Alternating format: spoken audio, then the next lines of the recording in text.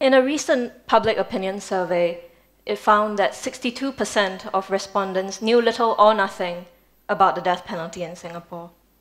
A death sentence is the harshest and most final punishment that our country's criminal justice system can inflict upon an individual. Like all national policies, it is a reflection of us and of the society that we live in. It's also a policy that has the support of an overwhelming majority of Singaporeans. That same survey found 70% support. But the majority of Singaporeans have now also said that they don't know very much about it.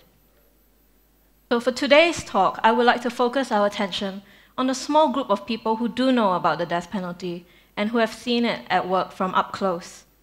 Whether we oppose or support the death penalty, we need to base our opinions on an understanding of how it actually works and how it plays out in Singapore today.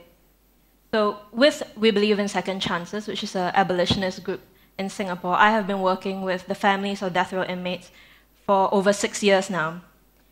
And the experiences of these uh, condemned prisoners and their families don't often feature in the intellectual debates about capital punishment in Singapore, but it's still crucial to an understanding of how things actually work.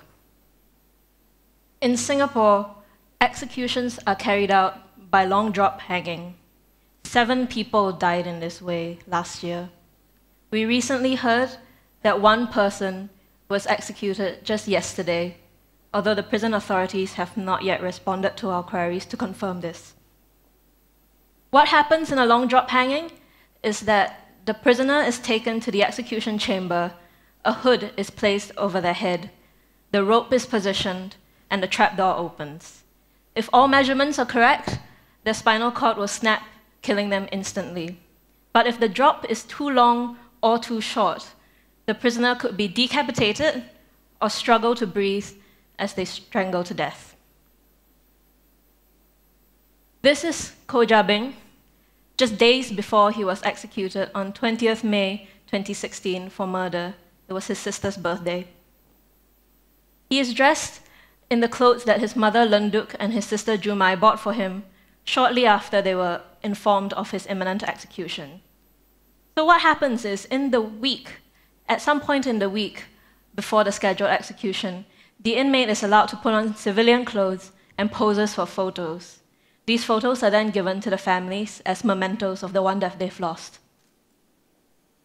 So imagine having to go to a shop and to buy an outfit for your child, your brother, your, your partner, knowing that it's the last outfit that they will ever wear. Imagine having to stand there and try to guess what size you're supposed to buy because you haven't had physical contact for so long that you no longer have a sense of size of shape of that person. This is exactly what Lenduk and Jumai had to do one night, standing in the well stocked aisles of Mustafa and Little India, surrounded by all these shoppers.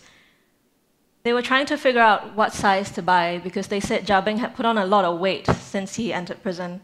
Which actually isn't surprising because death row inmates are confined to their cells 23 hours a day. We think of it as a very morbid practice, giving you know, photo shoots, giving photos to the families. But Jumai actually told me that she likes these photos. Because she said, it doesn't look like he's in prison, and if I close my eyes, I can imagine that he didn't die. So I've worked for over six years on this issue because I believe that the system we have is deeply problematic and that there isn't enough support for these families. In my experience, the inmates tend to come from ethnic minority groups, and they also tend to come from relatively low income backgrounds or situations where their choices and opportunities were more limited than the ones that many of us in this room have ever had. When someone is arrested and charged with a capital offense, it throws their family into the system of very intimidating court trials and very confusing legalese. The families themselves have committed no crime but often face the same stigma that the death row inmate is faced with, which makes it even more difficult for them to talk openly about what has happened. So we see wives suddenly become single parents, having to care for children at home and anxious husbands in prison. We've seen parents religiously presenting themselves at Changi prison every week just to see their child behind a pane of glass for less than an hour.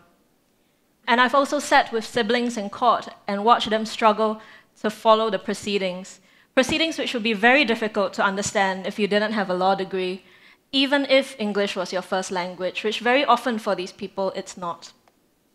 But there is a silver lining to being in court. Because usually what happens is after the court hearing, the family is allowed to speak to the inmate. They go up to the dock. And like prison, there is a pane of glass separating the prisoner from everyone else. But unlike prison, there is a slit in this glass that allows the inmate to speak to interpreters or lawyers. And time after time, I've seen the family members go up to that slit and put their hands through to the waiting inmates on the other side. And this slit is not big enough for them to hold hands, but just to touch fingertips. Sometimes they do this and then they pray, and sometimes they just talk.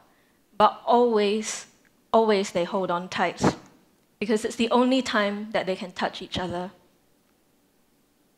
We actually know very little about what goes on in Changi prison because the death penalty in Singapore is shrouded in secrecy Everyone who works with death row inmates, the prison officers, the counselors, the doctors, the executioner himself or herself, we don't know who that is, are bound by the Official Secrets Act to not talk about what goes on. But sometimes we hear from the inmates themselves. And through conversations with the families, my colleagues and I glean an insight into life on death row and what it must be like to just be sitting there waiting. We hear about the friendships that form between the cells. We hear about the support and the solidarity that grows. We are told that when an execution is imminent, the inmate is allowed a budget to choose whatever they want for their last meal, but that they sometimes choose instead to use that money on their friends. So, like they will buy a can of Coke for everybody on death row. They are then allowed to go from cell to cell. They shake hands and they say farewell. And we're told by the other inmates that they can hear the opening thump of the trapdoor from their cells, and that's how they know it's over. And on death row, they call this being sent back or going home. People like Kho Jabing or like Chijioke Stephen Obioha, who was executed in November last year for trafficking two kilos of cannabis, have broken Singapore's laws, that is true. Others on death row have committed even more heinous crimes like multiple murders. But the important thing is that the death penalty system is not of their doing, it is of ours. It is a system that we choose to implement, and we are one of a decreasing number of countries around the world to do so.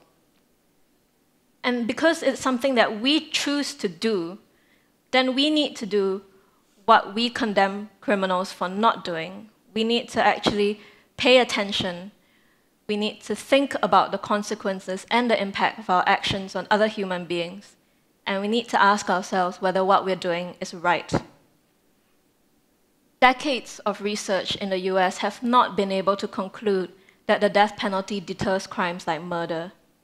And there is a lack of similar research in Singapore. And so there's actually no way that we can say with any certainty that the death penalty and all these executions are any more effective than any other punishment that we already have in our criminal justice system. I will never actually have enough time to fully convey to you the human experience of the death penalty in Singapore. And there's just so much that we still don't know. Information is very hard to come about. There is no official information on the number of people currently sitting on Singapore's death row although our estimate puts it at about 20 men. We don't know about the women because we don't hear from female inmates. These are the names of some of the men that we know to be on death row. Some of them could be executed by the time the year is out, which means more post photos for more families. And what we do know is that in the months and years to come, there will be more men and women who will be sitting in the dock and they will be sentenced to death, and they will join these names to wait for that date with the gallows. And we know that we'll see these families in court, and that these families will go up to the glass and they will put their hands through and they will hold on tight. But what I want to leave you with today at the end of this long day of inspiring talks about the diversity and you know, wonders of life and human experiences is the question of while these families are holding on tight, what will we be doing? Thank you.